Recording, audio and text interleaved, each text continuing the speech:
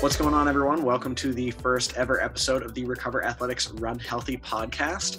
On this podcast, we're going to talk with runners, doctors, coaches, other experts on how to enjoy the sport of running in a happy, healthy, and sustainable way. Um, we're super excited to bring you this podcast. There's lots of people in the sport who have learned through their own trial and error or for treating thousands of patients um, how to have a really healthy and solid relationship with the sport. And uh, yeah, I think that there's a lot of wisdom that those people can pass on. So we're excited to bring that to you guys. Um, for those of you who don't know us at Recover Athletics, we designed the first ever injury prevention app for runners.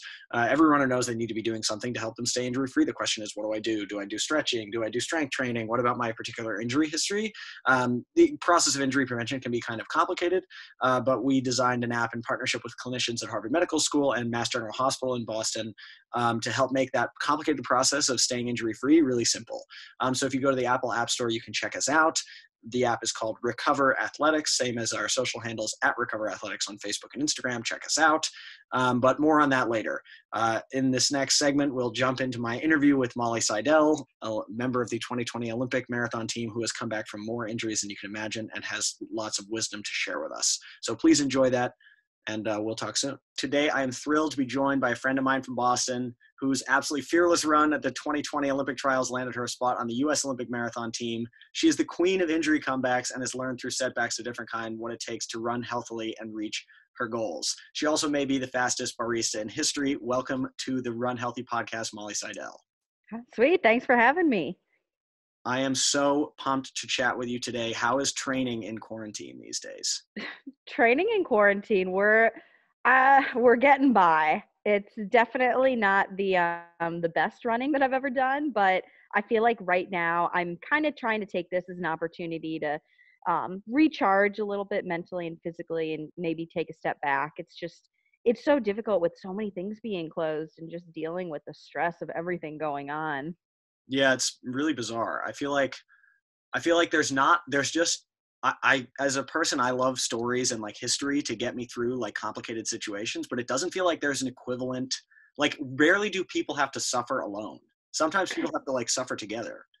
Yeah, it's just it really is so unprecedented, I feel like, because it's like we go from like kind of what our normal world was you're interacting with people you're going out to eat and, and then all of a sudden the world is just shut down like yeah. i i've only seen my friends like over video chat really like heck i haven't seen you in like i don't know what has it been like weeks at this point so yeah. it's like i think it's just really hard for a lot of people because it's like really the only thing we can do to fight this is to just be alone yeah it's re- I saw a billboard in Boston that said like uh it said like your grandparents had to go to war. You have to sit on the couch. You can do this. God I feel like this is the most like millennial crisis like yeah. possible. like what what we do to serve is to sit on our computers. I know. It's unbelievable. Well listen I mean we haven't actually chatted like we texted a bunch but we haven't chatted over the phone since the marathon trials. How are you doing? Has it set in? Like do you did you get the blue uniform in the mail yet? These are all no no so we're not going to get those now for a really long time with the whole postponement. I think it was finally starting to set in like obviously after it happened it was so crazy. I, I didn't expect that to happen so it kind of like hadn't sunk in. And then the whole world fell apart and all of a sudden that seems like such a trivial thing to be caring about when it's like when there are people dying it's like I feel like it's such an insignificant thing to complain that oh the Olympics are going to be a year later now. Right. Um, but regardless, it's hard. It's sad. It's I feel like I definitely have gone through a little bit of like mourning of like totally. Oh yeah, shoot, like this is something that I had really like. You're aiming so hard for. It's like I don't know the culmination of I feel like so many years of running, and now it's like J.K. Dog, you're just gonna have to wait, which is okay. Like right. this it needed to be postponed. Totally totally. What does it what does your training look like with such like a long horizon? Because it was going to be a quick turnaround and now it's a really long horizon. Yeah um originally my plan had been to take a little bit of time but then gear right back up for the 10k i was going to try and do the 10k on the track um and now obviously we've got nothing but time.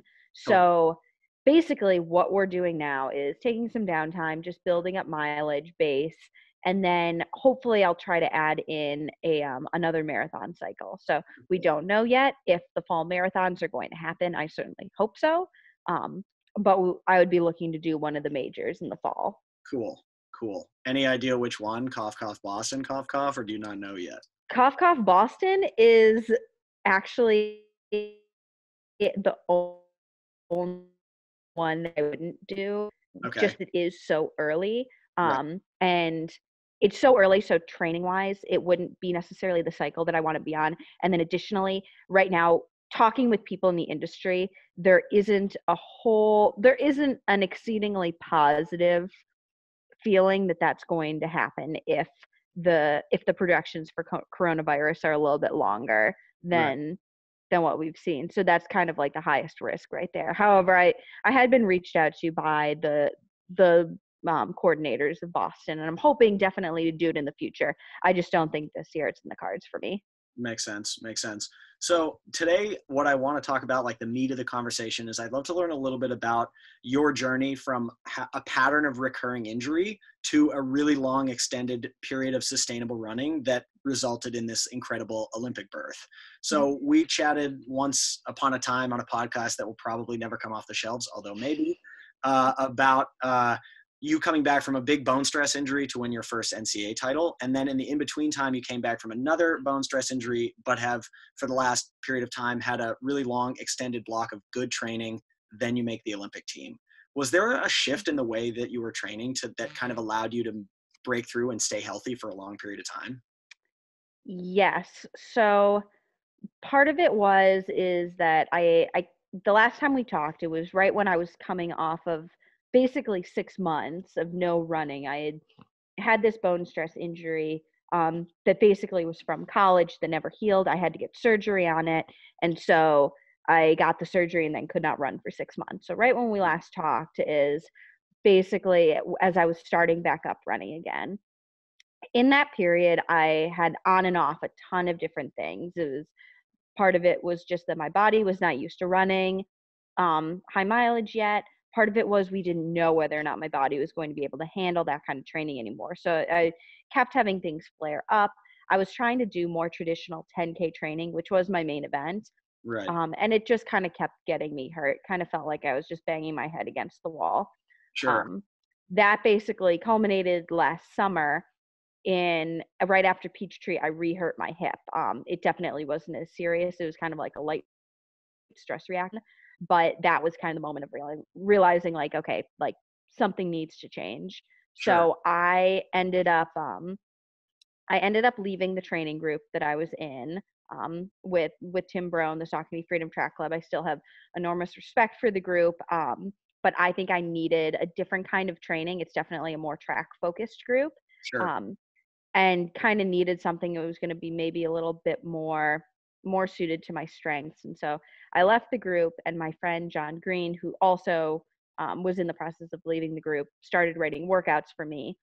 Um, definitely more marathon type workouts. We didn't have the the plan of running a marathon at that point, but it was just like, okay, what keeps me healthy is long, steady training, moderate workouts, not the kind of really intense track workouts that yeah. you would normally do for track.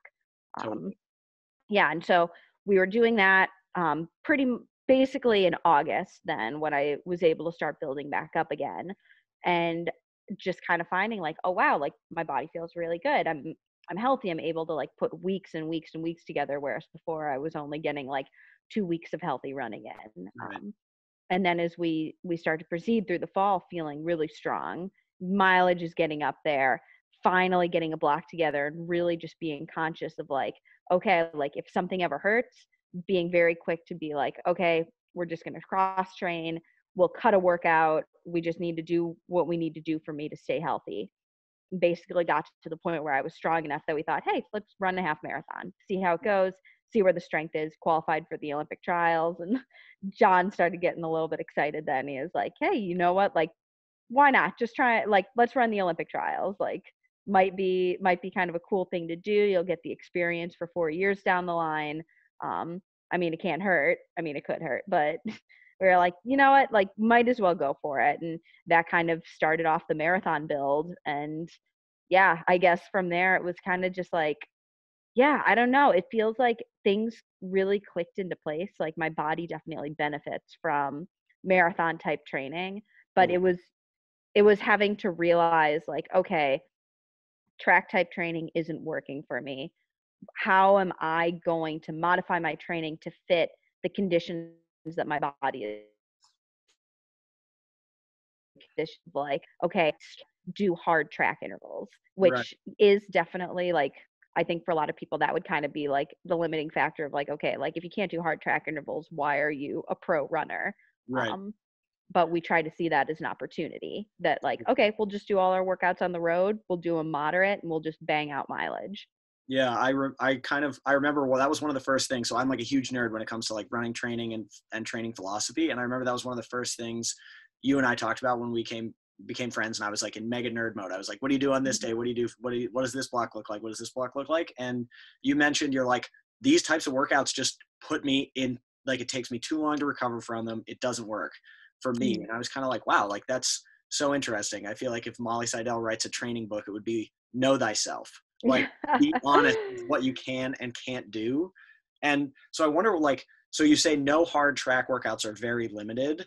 Mhm. What was it a complicated process, kind of being like all the other pro runners are doing this, Oh I'm gonna God, do yeah. this, and I'm still gonna like whoop on them. Like that is yeah. so i guess that's the problem that's almost like part of my i don't know my my own like worries going into that race i was like how am i supposed to compete with these people who are able to maintain this level of training that i simply can't um, Sure. i had been out in flagstaff training for the majority of my build up but the last two weeks before the race i actually i left flagstaff and i went and stayed with family friends in boulder because the I was getting so caught up in seeing what all of these other women, so like Sara Hall, Kellyn Taylor, Steph Bruce, um, all of these really, really good women, I was seeing what they were doing and seeing the level of work they were able to maintain. yeah, And it was really like, I was so down on myself because I was like, I can't do half the amount of work that these women are doing. I saw Sara Hall do this insane, like basically like a 27 mile workout. And I was like, oh my God, like the longest I've ever worked out is 18 miles. The longest run I've ever done, period, is 24 miles. Like, I'm not going to be able to finish this damn marathon. And seeing that was really hard. But Jon would just keep reminding me, like, remember, you're 10 years younger than these women. You have literally only had six months of healthy running under your belt. Like, don't get caught up in what they're doing. Right now, we're maintaining the highest level of work that we can do without you getting hurt. And right. it's more important you getting to the line healthy than getting to the line like fit out of your damn mind. Yeah, I feel like there's that's such an interesting balance in running. It's like, okay, I can show up to this race in like the absolute best condition possible aerobically, but that may mean that the tendons, the muscles, the joints are like in a little bit of a compromised state. And it seems like you're able to find that um that that that kind of knife edge and walk along it. Are there certain types of things that you just won't do, like no hard 400s, like those types of things are just out of the program, Mm. or are they modified? Um, it, everything's modified. So I did 400 workouts in the build up, but it's definitely more like tempo or 10k pace.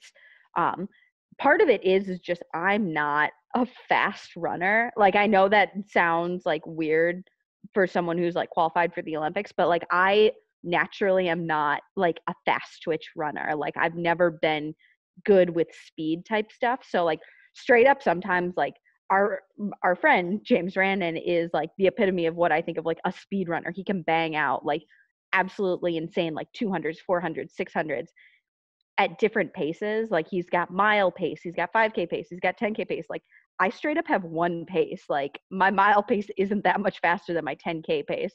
So it's like you kind of it's kind of like back to that idea of like you just have to work with what you're given. Like I'm never going to be that speed person who's going to thrive off of doing like really fast 300. So it's like there's no point doing it because it gets me hurt and I get marginal benefit out of it. Yeah. Yeah. And, and so, like, runners who are looking to string together like long periods of healthy running for the first time, what is what is your advice to them? It sounds like it's like look away from the crowd. Don't care what other people are doing. Just learn more about yourself. But is there sort of like one tidbit that you kept coming back to or one thing your coach said that was really impactful um get rid of the ego like that was a huge thing for me because coming back from these injuries especially after the 6 months off i kept comparing my progress to like oh like i used to be able to do tempos at 515 pace and now i can barely manage 6 minute pace like especially right as i was coming back or like my mileage was so low compared to it i was like i should be able to manage a higher level of work than what i'm doing right now. I should be doing this. I should be doing this. And a big part of it was just like getting rid of the ego and not thinking like you're not molly four-time ncaa champion right now. You're molly who's hasn't run for six months and is coming off of what could have been a career end- ending hip injury. And so it's like just you have to work with where you are at that moment. Like you can't use your paces from the past. Like i couldn't yeah. i couldn't say like okay i'm going to work out at 10k pace and use my 10k pace from college. It's like you have to realize where you are have the self-awareness and not get like not get so caught up in it that you try to push yourself too hard too fast. Totally. Because like right when I was coming back, yeah, my mileage was super low. I was not working out hard. Like I straight up didn't think I was ever going to be able to run a marathon because I was like barely able to run six miles at a time. Right. And so it's like you just have to slowly build and it comes with time. Consistency is the big thing. The speed will come, the mileage will come. It's just getting in that consistent work day after day and your body will learn and your body will improve and get stronger but it takes time totally. Yeah I, I, feel like that applies to just anyone at any level of running. Like i could not i remember one time i was jogging and you happened to be on the same route doing a tempo workout and i was just like oh i'll slot it with molly for like yeah maybe a couple hundred meters. And i remember just being like oh my god i cannot hold this woman's marathon pace for one lap of the track. But like this the same the same lesson applies like regardless of if like you're trying to go like crush your thanksgiving 5k or if you're trying to go out there like and make the olympic team like don't dig into or when you spend time digging into your like old splits from high school or whatever it's just like completely gonna it's gonna ruin you. Just stay like where you are right now. Yeah exactly and like and also not having the ego to think like i have to do like if a workout is on the schedule and if you feel really horrible that day like you whether you're sick or you're nursing a small injury or something i would always in the past be such a freaking hammerhead or just have too big of an ego to say like okay you know what? I need to move this workout. I i shouldn't be doing this today. I'll get more benefit of tomorrow. I used to always just push through get it done and a lot of times that would lead to me getting really hurt. And oh. in this marathon buildup we actually had quite a few workouts that like i went into it and i was feeling like shit and jon just said nope cut it. We'll do it another day. We won't do this one. Like I hate to admit how many workouts I did miss in that buildup, but it's like that's what kept me from going over that red line. Because it's like if I got another fracture, that's it for me. Like I can't afford to do that. Yeah, it feels like you have like this. There's a level of mental resilience, but there's also just like a level of like wisdom and patience when you're just like, I'm just gonna do this tomorrow. If I do this today, like there's no way it's gonna help me out. It's just gonna be a setback, or I'm just like inching closer to an inevitable setback. It's just like really interesting. But I mm-hmm. feel like I feel like with your story in particular, like you seem to have like reached high heights, injury, high heights, injury, high heights, injury. It's kind of like that. When I think of Molly Seidel, I'm like, it's this, it's fall time, fall down seven times, get up eight mentality that I definitely think is like a huge part of your success. And I wonder if that like, does that get any easier to to get up again when you've got knocked down a bunch of times? I don't know if I would say that it's easier to get up. Like getting back up is always really hard. It's always a process. But I think having dealt with a lot of setbacks, it gives me a really good perspective when things do happen. So, like, especially like with the first like really big injury, you're like, I'm never going to run healthy again. And it's like, no, like you, you work through it, you get through it. And I think over time, it's given me the perspective of like, if something happens, it's like okay we're going to deal with it. I'm much more okay with like taking time off because i've had enough experiences at this point of like okay if i try to push through something really bad it's just going to keep extending it. Um so yeah it gives me a little bit more forethought and it's like even with the really big ones even with like when you have a doctor telling you like okay you've got a 50% chance of ever like running competitively again just having the experience of having to like overcome that stuff before helped me through that because I don't know if I hadn't had like other really big injuries if I'd have had like the I don't know, the strength to like get through get through that like message from the doctor and then the next sure. 6 months of not being able to do anything and not knowing. Yeah, that's super interesting. I've, I've not heard something like that before, but that makes sense. It's like, okay, you've heard yet you've got a 50 50 shot once before, and you know what side of that you ended up on. And then it's just like, all right, mm-hmm. I'm back on, I'm getting on the right side of that again, you know? Yeah. Well, even then, because when I rehurt my hip that next summer, I, I straight up called my college coach, just like sobbing because I was like, I was convinced at that point that was the end. I straight up told him, like, I don't know if I can do this again. I don't know if I can like go through this in like injury rehab cycle and get back up. Like, I'm just so tired. I'm in so much pain. I don't know if I can do this. He's like, shut up. You're being dumb. Like, you're going to get through this just like you have before. It's like, it's just the same thing you've done. Just be patient, work through it. You're going to come back from it. And like, then after the trials, like, he was one of the first people I called when we were like in the press conference. And he was like, see, told you so. That's hilarious. I love that. I was like, I was just about to ask. I was like, did he just say, told you so? And then hung up the phone. That's unreal. That's so unreal. Well, I mean, this this next question and like next thing that I was thinking about, this could be a subject of a much longer conversation. But I know, and like from interviews that I've read and some conversations I've had with you, that sustainable fueling and nutrition are a big part of this. Is is that something that's changed a little bit recently, or did marathon training help you get on the right side of that? How was that a part of like this healthy period? Um, yeah, I think with marathon training, you definitely have to nail it out more. Um, one in terms of just general fueling, eating enough. You have to eat so much. Um, totally. And then I was really into the whole idea of like fueling during running, like taking in fluids, taking in gels. Um, truthfully, I still really suck at it. I um, I'm now like officially sponsored by maurten so the which was the gels and the the fluid that I was taking during the race and after the marathon I was on a call with Tobias, who's like one of the head nutritionists there. Um, and I was telling him like the amounts that I was taking, which I just, I kind of guessed at what I was supposed to be doing. Right. Um, and I told him what I was taking. He was like, oh my God, you were taking like less than half of what you actually needed during that race. He's like, I'm amazed you didn't bonk. I'm like, well, I'm glad I know this now. Yeah. And I will use this in the future. So I'm lucky that now I do have those guys who are like actual science, um, like are actual like experts in nutrition fueling. So my next marathon I go into, I'll actually like know what my fuel requirements were because I was just kind of like, yeah, shot in the dark, guessing how much I needed. Right on. I feel like that's running in a nutshell. It's like you can listen to all this wisdom, you can read these books, and then you get out there and you're like, oh, this is absolutely nothing like Lydiard says in this old book. This is nothing like Jack Daniels or one of these like big coaches. It's like you just got to go kind of figure it out for yourself. Well, yeah, and I think it's really individualized for everybody. Like I had, I was asking so much advice from different people, like what I should take, how much I should take, and everybody was telling me something different.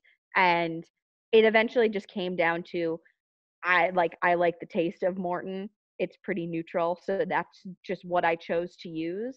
And then I just figured out kind of like the amount that I was physically able to consume during a race. Like I had little bottles and then I taped a gel to each bottle with like I thought that I was going to be taking the full bottle and shooting a gel and right. it just got to the point where i physically like all i could do was get that fluid down i could not even take the gel i tried to take one caffeine gel and started gagging so it's like you just kind of do what you can in the race and yeah. hope for the best I remember I was in a brewery. This is like my this is a true pro running moment. I was in a brewery. I was like watching the trials. Brian's in the lead, and I'm like, wow, the Saucony people are doing unreal. And then the pack, the women's pack starts to break up, and I get a I see a tweet that's like Molly Seidel is with the lead group, and I'm like, time to start streaming the race. and then I was just like, holy shit, this girl's gonna make the Olympic team. It was the last four miles were absolutely unreal. Like me and the recover squad, we were just losing our minds in this brewery. And it was in Worcester, and people were just like, "What are these oh. doing?" And like, "What are they watching?" It was an awesome moment. Yeah, it that was a really really fun day. Like especially like my whole family was there. So many friends were down there in Atlanta. My my family had gotten these huge like faces of me like as a little kid and like printed them out and were like carrying them all around the course. Izzy had this one of like Cowboy Molly of me in like my cowboy costume when I was in like first grade. So yeah, I definitely had the best cheer squad down there. That's unreal. Well, congrats again. I mean, I'm so excited for Tokyo. It may be a long way out, but I'm excited to see healthy Molly Seidel in the mix of the best in the world. I think she can. Knock on wood. unreal. Well, thank you so much for chatting with me, Molly. This has been super fun. Um, I hope that runners who are listening, you don't need to make an Olympic team to learn what workouts keep you healthy. You don't need to be in Olympic shape to learn how to have a healthy relationship with the sport. Molly is the epitome of a total badass. So follow her on social, get hyped for the journey as she goes. And I don't know. I remember I was in the running store a couple, like a week and a half before the trials, and you were like, I'm going to go mix it up with them. And I was like, this girl could come back with some hardware. Who knows? Happen again. No, it, it was great getting to talk What's going on? Welcome to the post show of the first ever Run Healthy podcast. That was super cool getting to chat with Molly. She's out there in Wisconsin, coming back to the East Coast soon, but still able to pass on some of the wisdom of someone who's come back from a lot of different injuries. Uh, Molly's been a great part of the Recover Athletics team, has given us feedback on the app, um, and has helped, uh, you know, uh, helped us understand the runner experience to make the app as good as possible. So if you want to check it out, we are the Recover Athletics app. So if you go into the Apple App Store and type in Recover Athletics, you can use the same injury prevention software as Olympic team member Molly Seidel. Thank you so much. If you have runners that you think would be an awesome guest on this podcast, please let us know. Reach out, and we will do our best to convince them to come chat with us. Run healthy, be well, and we will talk to you soon.